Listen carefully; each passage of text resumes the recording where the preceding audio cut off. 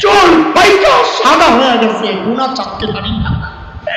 দাড়ি পাইকা সাদা হয়ে গেছে, গুণা চাপতে পারি না। জিজ্ঞেস করি, গুণা কবে ছাড়বেন আপনি বলেন বলেন যুবক তুই ভাবিস না তোর দাড়ি পাকবে, তারপরে মরবি। চুল পাকার পর মরবি। না রে, না না রে, বাবা। কত বাবাকে দেখলাম সন্তানের লাশ কাঁপে নিয়ে যাইতেছে। আরে কে জানে এমন কেউ থাকতে পারে? তার খবর নাই, সে বসে আছে এখানে। তার কাফনের কাপড় চলে গেছে দোকানে। এমনও তো হইতে পারে। কাউকে খবর পাইতে পারে। বয়ান করে গেল মারানা হাসান জামিল তো দুনিয়া।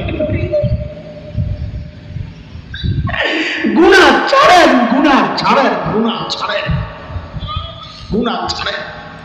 এর যুবক, ভাই আমার সন্তানেরা, এর চেয়ে ভালো করে বোঝানোর ক্ষমতা আমার নাই। আমার কথাগুলো যদি তোদের হৃদয়ে টাচ না করে, তা আমার শেষ কথা। তোরা আমার সামনে আয়। আমার সামনে আয়। তোদের পাওগুলো আমার সামনে মেলে দে। আমি ওই পাওগুলা জয় ধরিয়া সারা রাত বসে কান্দি। তুই গুণা ছেড়ে দে। আরে গুণাওয়ালা চোখগুলো দিয়া মালিকের সামনে কেমনে দাঁড়াবো বলে।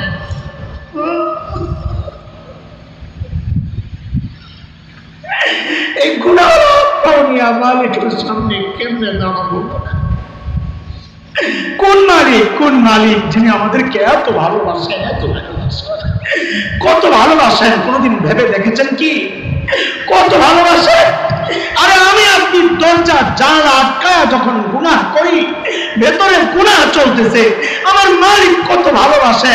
ওই গুনাহ অবস্থায় দরজার নিচে দিয়ে একটু ফাঁকা আছে যে, ওই ফাঁকার ভিতর নিচে দিয়া, ওই ফাঁকা দিয়া আমার মালিক বাতাস আর অক্সিজেন পাঠায় দেন যেন আমি বইরা না যাই।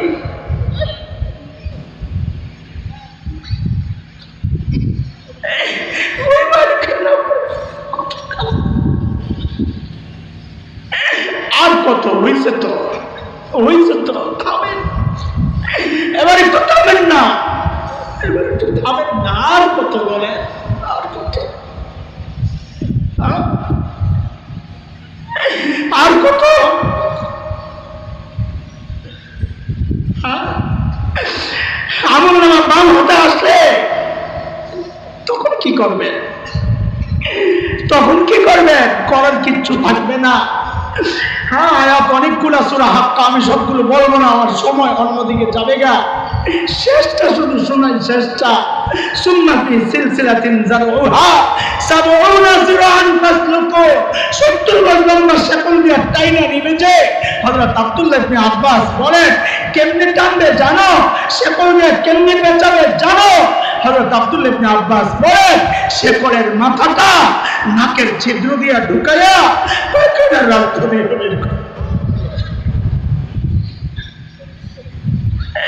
নাকের ছিদ্র দিয়া ঢুকায়া পায়খানা রাস্তা দিয়া বের করে পেঁচায়া পেঁচায়া টাইনা টাইনা চাপ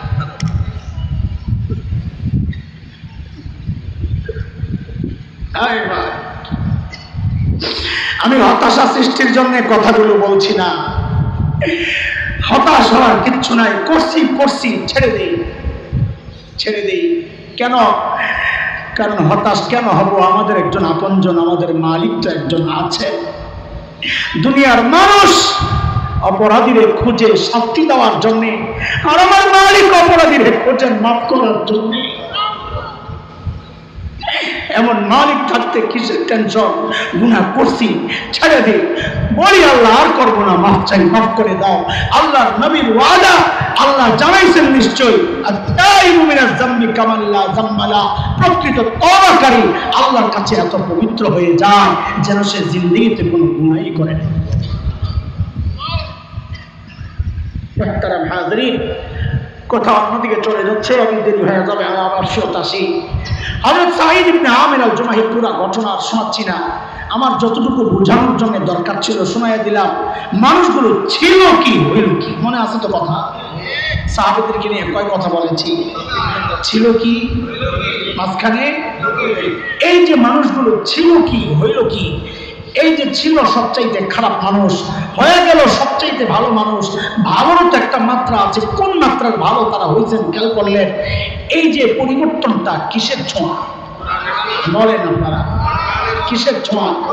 সবাই বলেন, কিন্তু বড় আফসুসের কথা, সেই কোরআন যে কোরআনের ছোঁয়ায় জাহেল আরব হয়ে গেলেন আল্লাহর সবচেয়ে কাছের মানুষ, সেই কোরআন আল্লাহ আসমানে ওঠায়া নিয়ে গেছে।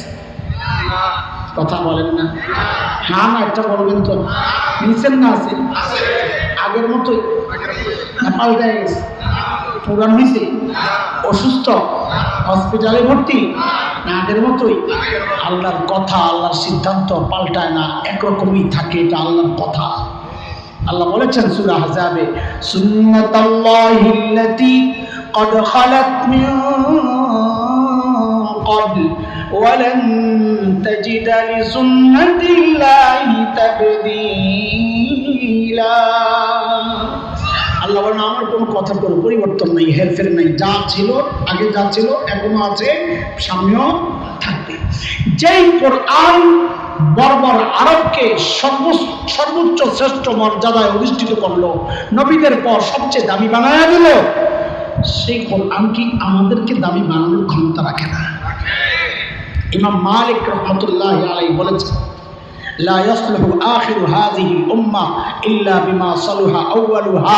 এই যদি আগাইতে চাও একটাই, আগের রাস্তায় ওই রাস্তা ধরো। এটার এক বাস্তব আপনি দেখেন? আজকে যেই আমেরিকারে আমরা তেলাচ্ছি তেলাচ্ছি, যেই আমেরিকারে তোষামদি করছি ক্ষমতায় যাওয়ার জন্যে অথবা থাকার জন্যে, আমি কারও পক্ষ নিচ্ছি না, সবাই তো এক পক্ষই। কেউ ক্ষমতায় যাওয়ার জন্যে, কেউ থাকার জন্যে। আমাদের কত কসরত, কত চেষ্টা, ক্ষণে চীনের কাছে, ক্ষণে ভারতে, ক্ষণে রাশিয়ায়, কত জায়গায় আমরা ধারণা দিচ্ছি, ক্ষমতায় যাওয়ার জন্যে অথবা থাকার জন্যে। কাউকে আলাদা করছি না আমি। এই যে এত চেষ্টা, অথচ এই জমানায়ও আল্লাহ তার ওয়াদা পুরা করে দেখাইছেন কি? যে একটা জাতি ওদের পায়জামা পরা দেখলে আমি হাসি, একটা উপরের দিকে, আরেকটা নিচের দিকে এলোমেলো অবস্থা। কিসের এত স্মার্টনেস মাথায় টুপি একটা এরকম কাইত হয়ে দিছি। দাড়িগুলা কেমন এলোমেলো বড় বড়। যাওয়ার মধ্যে ধুলেবালি লেগে রয়েছে যুদ্ধে যখন যায় কাপড়ের মধ্যে কটা শুকনো রুটি পেঁচাইয়া কান্দে করে লইয়া ছুটছে আল্লাহর বান্দা। পুরাতন আদিকালের ওই সমস্ত রাইফেলগুলো নিয়ে আমেরিকার অত্যাধুনিক অস্ত্র সহ হামলে পড়ল। সাথে তাদের সহযোদ্ধা, সারা দুনিয়ার শ্রেষ্ঠ শ্রেষ্ঠ শক্তি, ন্যাটো সবাইকে নিয়ে একসাথে হামলে পড়ল। সব সবাই মনে করছে, আফগানিস্তান হ্যাঁ ধরেছে এতক্ষণ তো ভালোই আসলো নাম লয় নাই। ধরেছে আশ্চর্য কথা, আরে তালেবানরা আমাদের গর্বের ঠিকানা। কিসের ধর্মে? আজের কারণ আমরা পারি না আমাদের দুর্বলতা অসহায়ত্ব আরেকজন তো স্বীকার করতে সমস্যা কোন জানে হ্যাঁ? বলেন, তালেবানরা আমাদের গর্বের ঠিকানা। বলেন। ঠিক আছে কথা? কোনো ভয় নেই, ইনশাআল্লাহ। আর ধরলে আমারও ধরবো, আপনি বলেন কিনা আল্লাহর কাছে অন্তত বলতে পারো, আল্লাহ, তোমার কোরআন তোমার জমিনে জিন্দা করার জন্যে, প্রতিষ্ঠিত করার জন্যে দিন কায়েমের জন্য আমি পারি নাই ওদের মতো জেহাদ করতে, কিন্তু আমি ওদেরকে দিন থেকে ভালোবাসছি এবং সেটা প্রকাশও করছি। এই মুসিলায় যদি আমার অবলম্বন একটু দিয়ে দাও আর কি একটা মুসিলা তো লাগবে। ঠিক আছে না? কি দেখাইল? ভেলকি ভেলকি, কি দেখাইছে? ভেলকি। প্রথমে একটু বেকায়দায় পড়ছে। পাঁচ বছর, মাত্র কয় বছর? মানুষ জানে তালেবান ক্ষমতায় ছিল না বিশ বছর। আসলে এটা মিডিয়ার সৃষ্টি। আসলে ছিল না পাঁচ বছর। পনেরো বছর খালি আমেরিকার এক খেয়ালছে তালেবান কি করছে? আর নিজেদেরকে গুছাইছে। কেমন গুছান গুছাইছে? এখন যে ক্ষমতায় আসছে, সম্ভাবনা দেখা দিছে, আমাদের পুরা এই, পুরা এশিয়ার, এই দক্ষিণ এশিয়ার মধ্যে অর্থনৈতিকভাবে সবচাইতে শক্তিশালী জায়গায় খুব শিগগির দাঁড়ায়া যাবে আফগানিস্তান। কীভাবে নিজেদেরকে গুছাইছে? ওই যে পাঁচ বছর মাইর খাইছে, কয়, এটা কি জন্য খাইলো? এরা না কোরআনে ধরে রয়েছে খাইছে হইল জমিনে বীজ যে লাগা ডাইরেক্ট লাগায় দেন না, একটু হাল চাষ দেন। জমিনে হাল চাষ দেন, একটু সার দেন, কথা কয় না। বীজ লাগানোর আগে একটু সার টার আল্লাহ তাআলা পাঁচ বছর তালেবানের রক্ত দিয়া আফগানিস্তানের জমিনে সার দিছে, সার। ওই রক্তের সার যখন জমিনে পড়ে গেছে, বাকি পনেরো বছর আল্লাহ ক্ষমতা দিয়ে দিছে, নিয়ে এবার দিন আর শরিয়ার তো গাছ লাগাইয়া দিই আমি উঠাইয়া দিতেছি। যাদেরকে তোষামতি করছি আমরা, সেই পরাশক্তি, মহাপরাশক্তি একা না। অন্যান্য পরাশক্তিদেরকে নিয়ে তালেবানের সাথে যে লড়াই বেঁধেছে একদিকে দুর্বল তালেবান হাতে কোরআন। দুর্বল শক্তি, হাতে কোরআন। আরেকদিকে পরাশক্তি, মহাপরাশক্তি। আমেরিকার নেতৃত্বাধীন নেটো জোট দুনিয়াবাসী দেখেছে, কোরআনের শক্তি দেখেছে, যাদেরকে তোমরা তোষামতি করো, সেই আমেরিকা শুধু পালায় নাই পালায় নাই, কুত্তার মতো ল্যাব দুটায় পালাতে বাধ্য হয়েছে।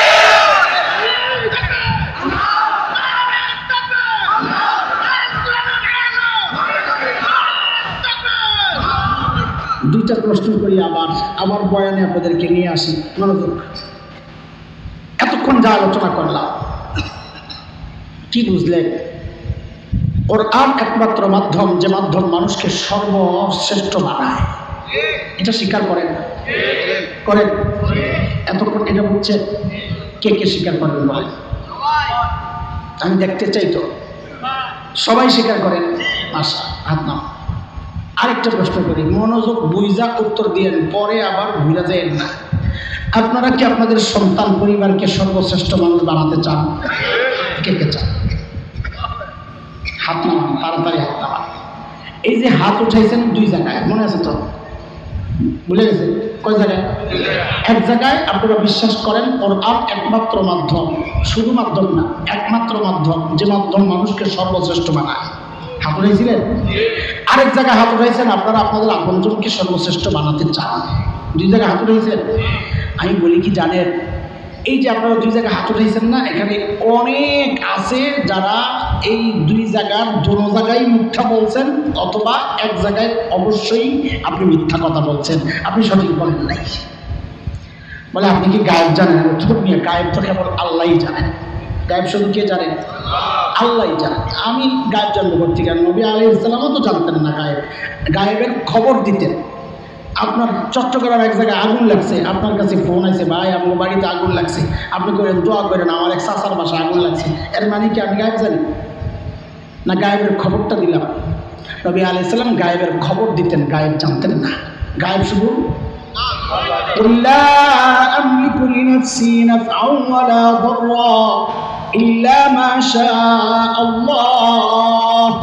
ولو كنت أعلم الغيب لاستكثرت من الخير وما مسني السوء আমি যদি গায়েব জানতাম সূরা আরাফ আয়াত একশো আটাশি ওয়ান এইট এইট নয় নম্বর পারা হাফিজি কোরআন করলে চোদ্দ নম্বর পৃষ্ঠার প্রথম লাইন প্রথম আয়াত আমি যদি গায়েব জানতাম নবী আপনি বলে দেন আমি যদি গায়েব জানতাম সব ভালো আমি অর্জন করতাম আমি আর বিপদে পড়ি না বুঝা গেল নবী গায়েব জানতেন না জানতেন না জানতেন না তো আমি জানবো থেকে তাহলে এই কথা কেমনি বললেন? আমরা মিথ্যা বলেছি। আমি গায়েব তো জানি না বন্ধু, কিন্তু আমি এই সমাজ তো জানি। এই সমাজের আলো বাতাসে আমার বেড়ে উঠায় এই সমাজের ডাল চাল খাই তো আমি বড় হয়েছি। সমাজটি সেই জায়গা থেকে আমার চেনা জায়গা এটা। সেই জায়গা থেকে আমার উপলব্ধি। আপনারা হয় দুইটাই মিথ্যা বলছেন অথবা যে কোনো একটা মিথ্যা বলছেন। বলে কেমনি বললাম একটু দেখায় দেন। তো শুনেন, আপনারা বলেন নাই, কোরআন একমাত্র মাধ্যম যে মাধ্যম মানুষকে সর্বশ্রেষ্ঠ বানায়? বলেন নাই? বলছেন। এটাও কি বলছেন? আপনজনকে সর্বশ্রেষ্ঠ বানাইতে চান? তাহলে আমার জিজ্ঞাসা আপনাদের কাছে, যদি সর্বশ্রেষ্ঠ আপনার সন্তানকে বানাইতে চান, আপনি না বললেন প্রথম হাত উঠাইয়া কোরআন একমাত্র মাধ্যম, যে মাধ্যম সর্বশ্রেষ্ঠ বানায়। তো আপনি আপনার সন্তানকে সর্বশ্রেষ্ঠ বানাইতে চাইলে কোরআনের প্রতিষ্ঠানে না পাঠাইয়া আপনি পাঠাইলেন কোথায়? তার মানে মিথ্যা বলেছেন। কথা বলেন না সত্য বলছেন না মিথ্যা বলছেন? আমি আর স্মরণ দিব না। ওই যে বলেছি আগে, লজ্জা কষ্ট দেওয়ার জন্য বলছি না, আফসোসের আগুন জ্বালাইতে বলছি। আগুনটা লাগলে আপনি দৌড়ে যেন আমাদের কাছে চলে আসেন। আমরা বুকে নিয়ে একসাথে জান্নাতে যাব। না ইনশাআল্লাহ, সেই জন্যই বলছি, কষ্ট দেওয়ার জন্য না। বলেন, এই যে কাজটা করলেন, এটা গর্ব না আফসোস? ওইটাই সব শুরুতে মুখস্থ করাইছি। ধরলাম কি, ছাড়লাম কি, আহারে করলাম কি। ঠকছেন না জিতছেন। নিজের দিন শিখছি, আল্লাহ আমার শিখাইছেন, আমার মা বাবার ওসিলায়। আমি ঠকছি না জিতছি আমার মা বাবা ঠকছে না জিতছে কেন কি আমি বিস্তারিত ব্যাখ্যায় যাব না। কিন্তু আপনারা যারা সন্তানকে দিন শেখান না, আপনারা যে ঠকছেন এটা একটু শিখাই দিই সময় দিস আপনি ভাবেন, আপনি জিতছেন জিতেন নাই। গর্বের সাথে বলেন, আমি ডাক্তার ছেলে, আমার এক ছেলে ডাক্তার। আরেক ছেলে ইঞ্জিনিয়ার এক মেয়ে আমেরিকা থাকে ছোটবা কানাডা থাকে, কি গর্ব আপনার ভিতরে জড়িয়ে শেষ। ঠকছেন ঠকছেন কেন ঠকছেন আমি দুইটা বাস্তবতা আপনাকে শোনাই, কোরআন হাদিস দিয়ে বুঝাবো না। এতক্ষণ কোরআন হাদিস দিয়ে বুঝাইছি। এখন সমাজের বাস্তবতা দিয়ে আপনি বুঝেন। আমি মাওলানার রিপোর্ট না এটা এটা পত্রিকাওয়ালাদের রিপোর্ট সেটা হচ্ছে উচ্চ শিক্ষার হার যত বাড়ছে সন্তানের সাথে মা বাবার দূরত্ব তত বাড়ছে। এই উচ্চ শিক্ষা মানে মাদ্রাসা শিক্ষা। সাধারণ শিক্ষা। আপনারা এই জায়গায় আরেকটা দোকান মধ্যে আছেন, খবর নাই। কি দোকান জমিন উপরে না আসমান উপরে? আরে আসমান মানিয়ে যেটা উপরে থাকে। সমুন আয় তো বলেন আবার, জমিন উপরে না আসমান উপরে? জমিন নিচে, না উপরে? কথা কর আমার কথা শেষ অল্পতে শেষ করতেছি। ফিনিশিংটা দিয়ে দিই। ওই যে ধরলাম কি ছাড়লাম কি আহারে করলাম কি একটু বুঝবেন না মিয়া? জমিন নিচে, না উপরে? তো যেই শিক্ষা জমিনের তৈরি হয়েছে, ওইটা উচ্চ শিক্ষা, না যেই শিক্ষা উপর আসমান থেকে কোরআনের মাধ্যমে আসছে, ওইটা উচ্চ শিক্ষা? ধোকায় তো আরেক জায়গায় পড়ে আছেন। আমাদেরকে বলেন, আমরা সাধারণ মোল্লা মৌলবী। আরে মিয়া, উচ্চ শিক্ষা তো হচ্ছে আসলে মাদ্রাসা শিক্ষা, কোরআন শিক্ষা, কারণ এটা উপর থেকে আসছে। বলতেও চায় না, ঠিক চলতেছে শোনেন শোনেন। শেষ একটা উপলব্ধি দিই আপনাদেরকে ঠকছেন না জিতছেন ওটা বুঝাইতেছি। গত ঈদে মাওনা ঈদের দিন, রোজার ঈদে একজনে আমার এই ইউটিউব ইউটিউবের ভিডিও পাঠাইছে হোয়াটসঅ্যাপে দেখেন, কি ভিডিও বৃদ্ধাশ্রমের ভিডিও টেলিভিশনওয়ালারা বৃদ্ধাশ্রমের বুড়াবুড়ি কেমনে ঈদ উদযাপন করে, ওইটারে আনব দেখাইব মানুষকে। ওই ভিডিও আরে বুড়া বুড়ি পায়েস পাইছে আশ্রম থেকে। ঈদের দিন, লারে লারে যায় না মহে, কান্দে, চোখের বাড়ি পড়তাছে, লারে, খায় না। কিরে মা খান না, ভালো লাগে না। খান না, ভালো লাগে না। আমারও এই দৃশ্য দেখার চোখে পানি আসছে। চোখ দিয়ে পানি পড়তেছে। কিন্তু দেখলাম একজন কোনো সাধারণ ঘরের মা বাবা না, এলিট শ্রেণি হাই সোসাইটি ছেলে মেয়ে ইউরোপ, আমেরিকা থাকে। আমার চোখ দিয়ে পানি বের হয়েছে ঠিক। কিন্তু আল্লাহকে হাজির নাজির রেখে বলছি, গর্বে একটা জিনিস চিন্তায়, গর্বে আমার বুকটা বড় ফুলে গেছে। কিটা, কি দেখা? একজন মাও বলে নাই, আমি হাফেজের মা। একজন বাবাও আমি আলমের বাবা। বলবে না। অসম্ভব যে দিন শিখবে, সে মা বাবাকে বৃদ্ধাশ্রমে রাখবে, এটা অসম্ভব। অসম্ভব? সম্ভব না। কারণ সে জেনেছে দিন শিখা। মা বাবা খুশি, আমি জান্নাতি। মা বাবা নারাজ, আমি জাহান্নামি। নবী বলেছেন, হুমা জান্নাতুকা ও নারুকা। ও শিখেছে এটা। ওই কাজ করতে পারে না। ঠকছেন তো ঠকছেন। বলেনও না ঠকবেন আখেরাতেও। আখেরি ধরাটা রয়ে গেছে আখেরাতে। কোন জায়গায়? আখেরি ধরা এটা, আখেরাতে। কেন শেষ কথা সুর আহজাবের কথা যেই সন্তানের কেরিয়ার কেরিয়ার চিন্তা করে নিজের কেরিয়ার শেষ করছেন ওই সন্তান আপনার আখরাতের কেরিয়ার বরবাদ করে দিব কি বললা রব্বানা ইন্না আতানা সাদাতানা ওয়া কুবারানা فأضلونا السبيلا ربنا آتهم ضعفين من العذاب والعنهم لعنا كبيرا আল্লাহ আমার বাবা মা মুরব্বী আমার ঠকাইছে ঠকাইছে ডাবল শাস্তি চাই বলে কেন ডাবল শাস্তি বুঝেন না বুঝেন আপনারাও বুঝেন খাওয়ানোর দায়িত্ব ছিল খাওয়ায় নাই এক অপরাধ পেটটা খালিও থাকতে দেয় নাই বিষ খাওয়াইছে আরেক অপরাধ দিন শেখানোর দায়িত্ব ছিল, শিখায় নাই। বদিনই শিখাইছে, আরেক অপরাধ। দিন শেখানোর দায়িত্ব ছিল, শেখায় নাই, এক অপরাধ। বদিনই শিখাইছে, আরেক অপরাধ। এই দুই অপরাধের কারণে আমি ডবল শাস্তি চাই। আপনি তো আমার রহমান, আপনি তো আমার রহিম। একটু মায়া লেগে যেতে পারে, খবরদার। মালিক, আমারে ঠকায়েন না। ওয়াল লাআনান কাবীরা। এরা যেন আপনার রহমত একটুও না পায়। ওদেরকে আপনার রহমত থেকে অনেক দূরে দেন আমি তো ছোট মানুষ। এই আমার মতো একটা হাসান জামিলও যদি রেখে যাইতেন, আমি যদি কসম খাই, আমি গুনাহগার হব না, কিন্তু আমি খাব না, হয়তো কোনোদিন মিস যাইতে পারে। কিন্তু আল্লাহর তিনশো পঁয়ষট্টি দিন বা ষাট দিন যেটাই বলি, এই তিনশো পঁয়ষট্টি দিনের মধ্যে একদিন এমন যায় কিনা আমি সন্দিহান। যেদিন মালিকের কাছে হাত উঠাইয়া বলি না রব্বির হাম্মা কামা রব্বায়ানি সাগীরা। আমার বাবা মা ঠকছে না দিচ্ছে। আমি ঠকছি না দিচ্ছি। হ্যাঁ? আমি ঠকছি না দিচ্ছি। কেমনি জিতলাম?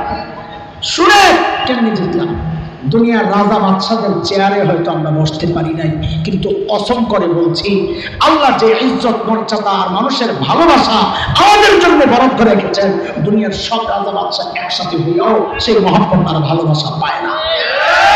ঠকছি না দিচ্ছি।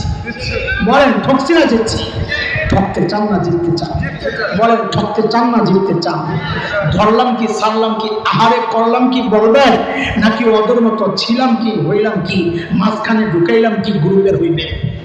কোরআন ওয়ালা হইবে না কোরআন ছাড়নেওয়ালা হইবে? এই যে আমাদের মাদ্রাসা মহিলা মাদ্রাসা এগুলো দেওয়ার মাকসাদ এটাই।